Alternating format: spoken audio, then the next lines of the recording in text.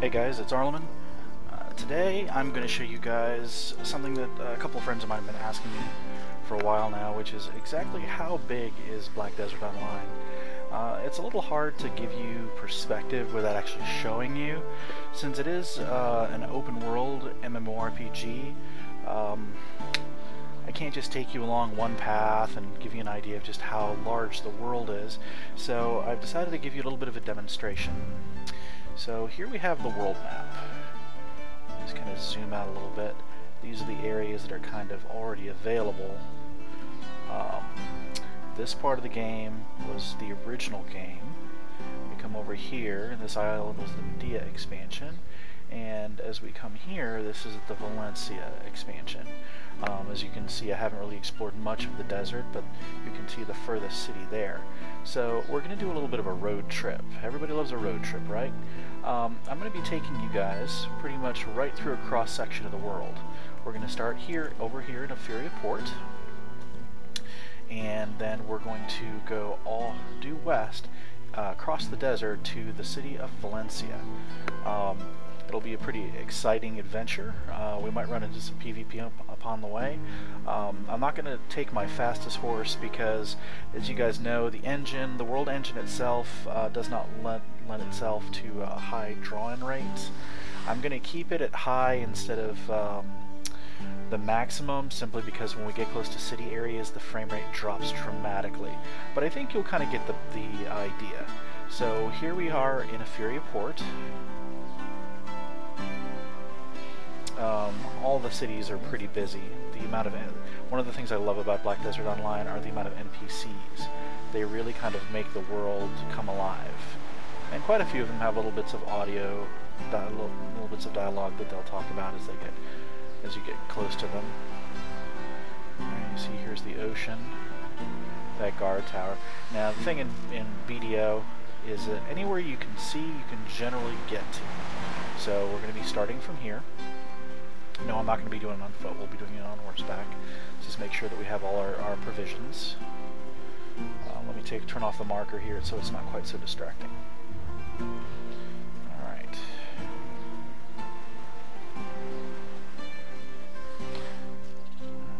So since, let's see here, let's make sure that our mount is fully fueled.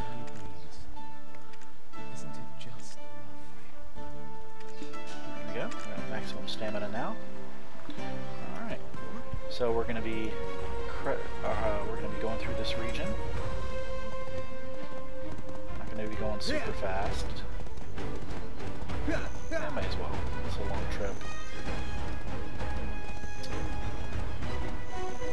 A lot of these wagons you see at the roadside, some of them are players, some of a lot of them are actually uh, players' inventory items that are being transported via wagon from city to city. See down there, there's a river, mountains, there's Calpheon Castle off in the distance. Try to point out landmarks as I see them, but since this is just basically right, cutting right through the land, there's going to be a lot of stuff that you don't see. Um, I decided to take this route instead of the coastal route. While the coastal route is prettier, it doesn't exactly give you much of a view of the variety of the game because it's just cliffs and the sea. It is beautiful though. Alright. Got a little battlefield going on here. This is between the Calpheon Knights and the Trolls. thing is, is that you have to be really careful as that one of these things can hit you. Kiss your horse's ass goodbye. rallying cry of the troops. A giant windmill is Northwest Plantation. Um, is kind of the bread basket of this land, although it has been blighted. We've got quite a few crops. Avoid that, stay back on the main road. Alright, so this is the major city of Calpheon. Um, it is the capital city of the Calpheon region. Um, a lot of people like to hang out here. Frame rate's going to be pretty crummy, so just bear with us scale of the city is amazing. Give you an idea how big this place is.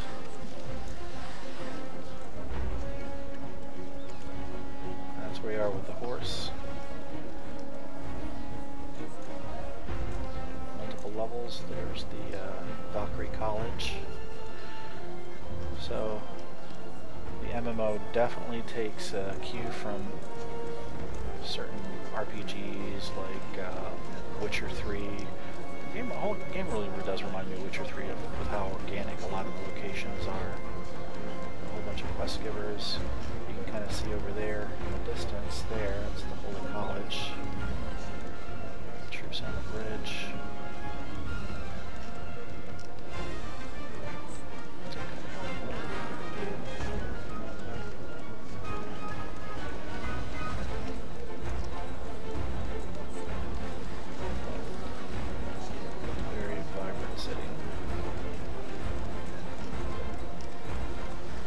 See, uh, medieval East, medieval European style city.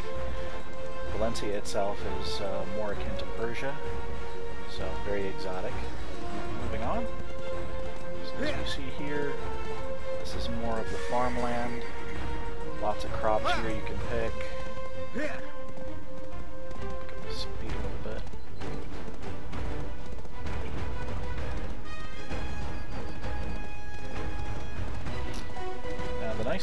With uh, following the roads is, is that your mounts actually get full speed while they're on the road.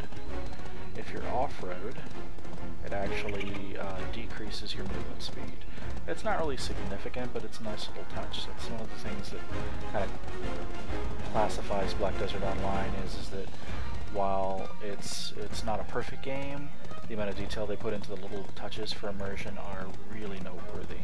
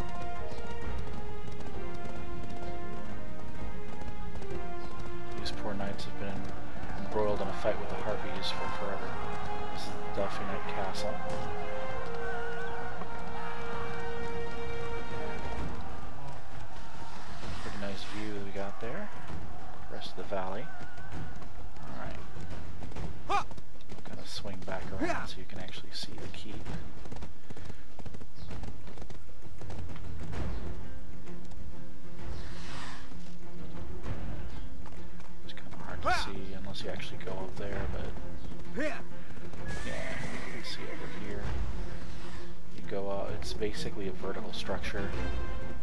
Go all the way up there as well. There's a couple of outposts along the mountains too.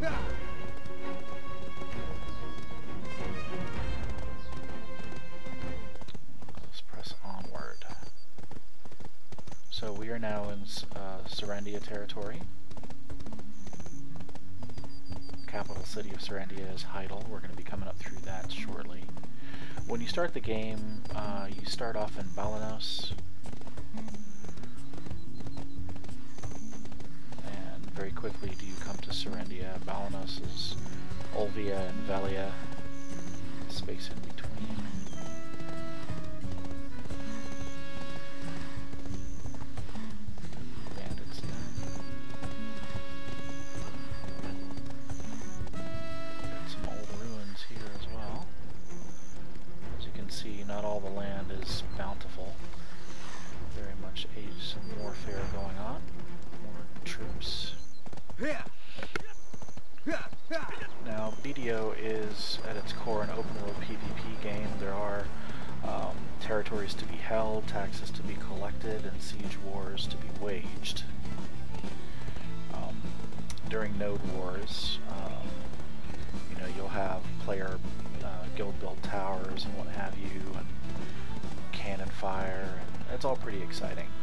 um, they all take place within the context of this massive world.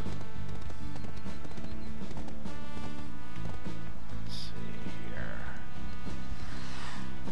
Uh, just can't really see the tower from here. Alright, moving along. I want to make sure we get to the desert before sunset. Oh, that's one of my workers. As you can see, this uh, land is uh, a little cooler, a little drier, um, not quite as bountiful as uh, the Calpheon region, but still pretty lush. Alright, we're coming into the capital of Serendia, which is Heidel. It's kind of, since Mediah was added, this has kind of been the nexus. City itself is not terribly large, it's a lot less easy, it's much easier to navigate. Um, a lot of these houses can be purchased for player housing. All of them are instanced. Now you can have a total of five um, five residences in the game world to decorate as you will. Alright. So, moving along.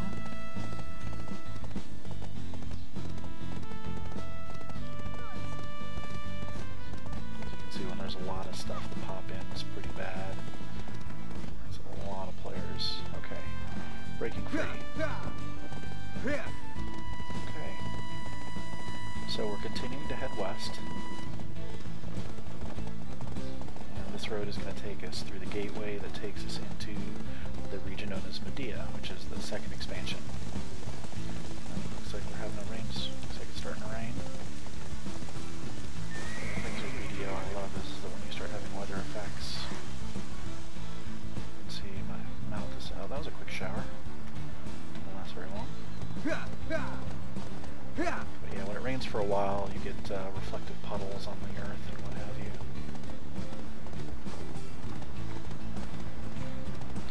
those of you who uh, saw my last fishing video kind of got a taste of just how fast the uh, the ocean play is. But this is the land play. We're crossing into the Mediah region. And since we're heading into a desert, you're going to start to see much less vegetation, not quite the forests that you're used to.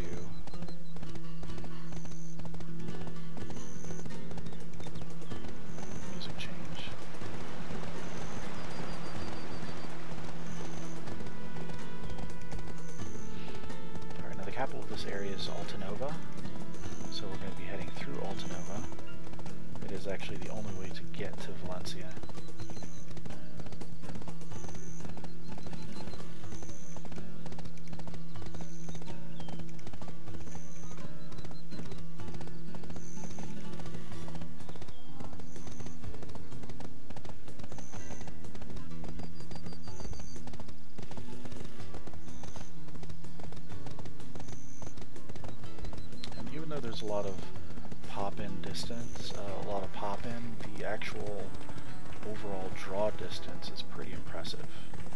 And especially when you're at an elevation and you can look across the land.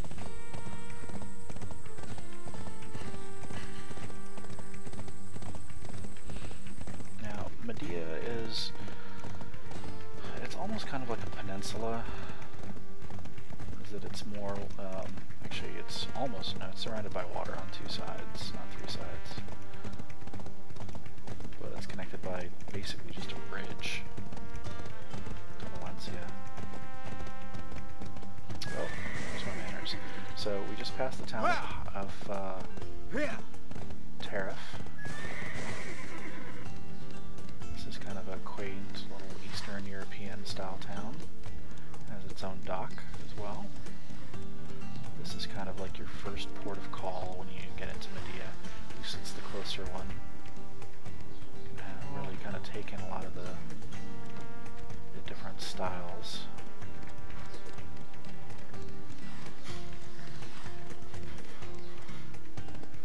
Alright. Okay. Pick up our pace a little bit.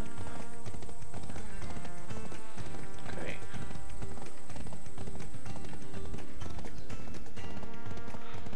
As you can see, this is not a small game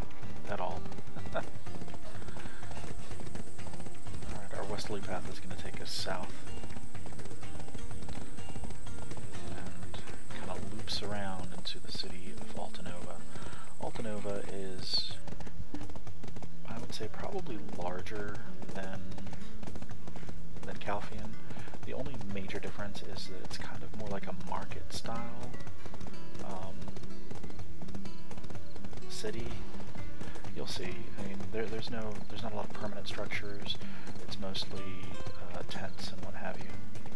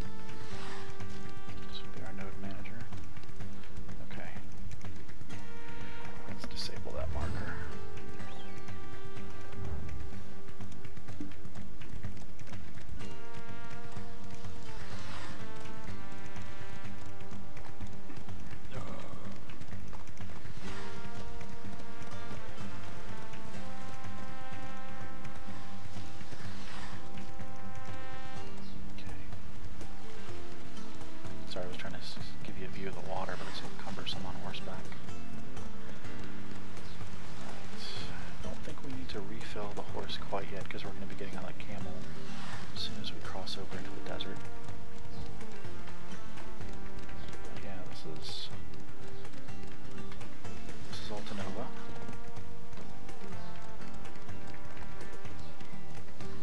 It's more of a frontier style city. It's a big place though. Let the simple structures fool you. There's a lot here.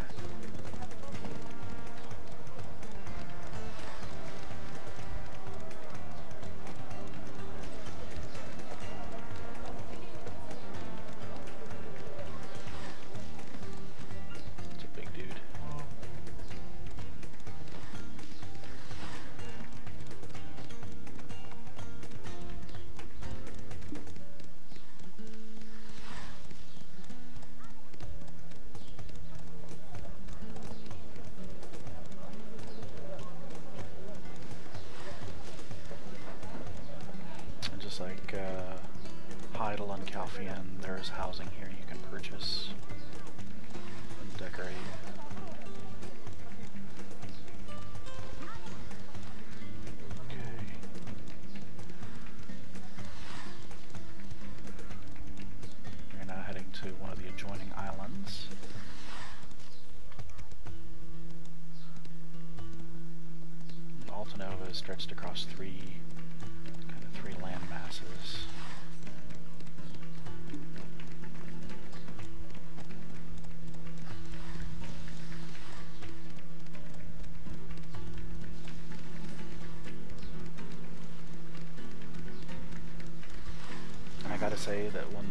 Desert first became live when we could actually go there, I was just amazed at the scale of it all.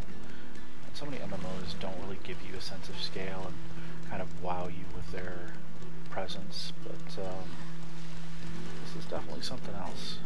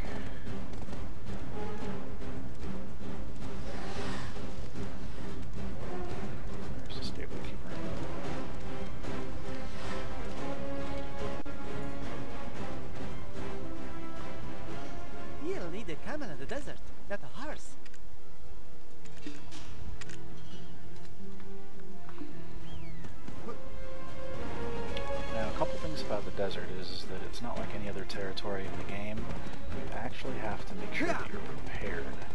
And by prepared, I mean it's a uh, it's a very hostile climate. I mean, look at that. It's a very hostile area during the daytime. You can suffer from heat stroke, which is puts you with a pretty annoying damage over time. And during nighttime, it can hit you with hypothermia, which is another annoying you've got sandstorms. During the day, um, you have to keep yourself hydrated, so you need to make sure that you are drinking water, purified water to be exact. And during the nighttime, you need to uh, drink tea, a good star anise tea. Don't have any tea, so we're going to do this during during daylight hours.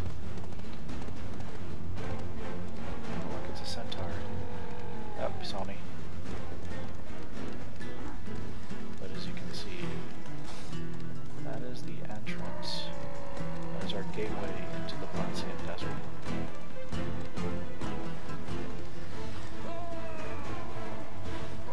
Funny thing is, while you can bring your mount into the desert, it won't move very quickly and its stamina will drain very rapidly. Yeah.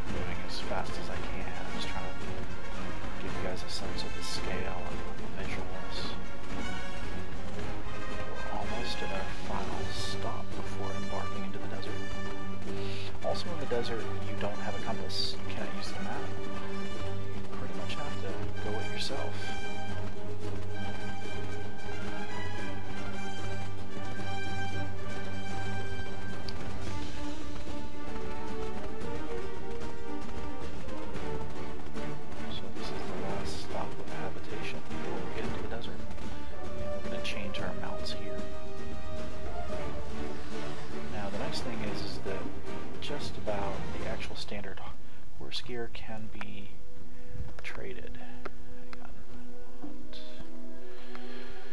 So I'm taking the saddle, the bridle, the stirrups, and of course the horseshoes.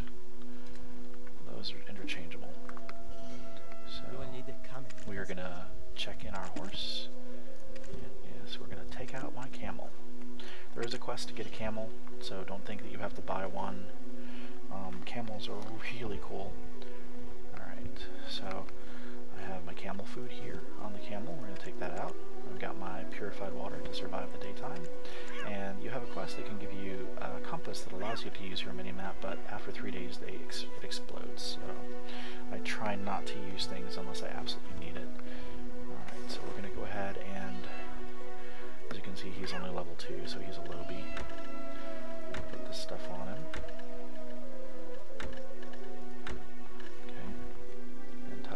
is nice and uh, dressed. Also, since we're going to be going into the desert, we need some training. Let me get on some training clothes.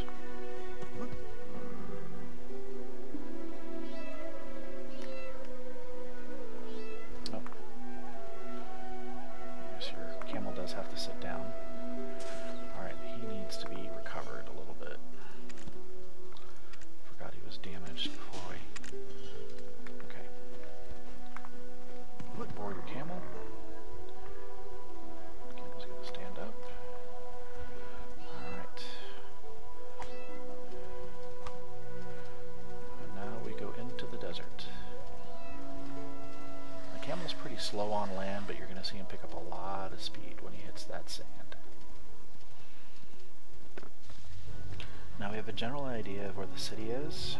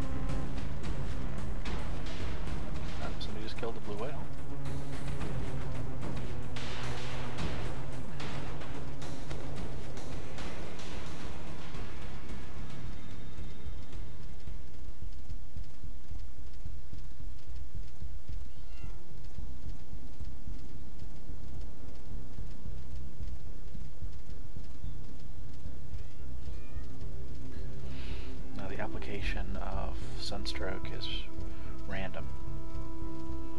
And once you get it, if you do not remove it, it will continue to tick down and it will refresh itself.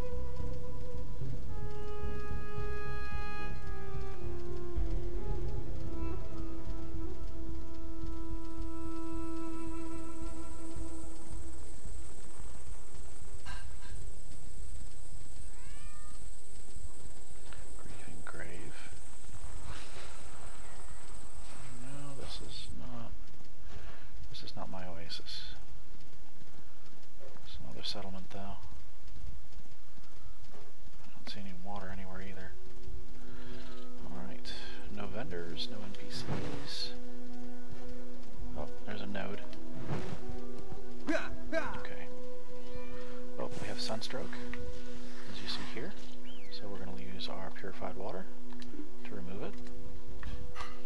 You can see it was starting to tick down on my health. Alright.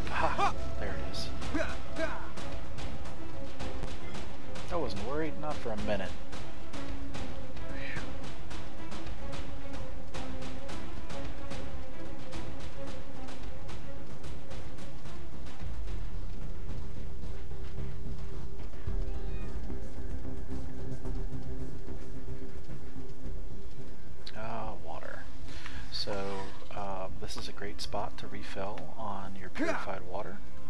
There are vendors here. You can buy the bottles, refill in the spring, and uh, use your processing to filter the water.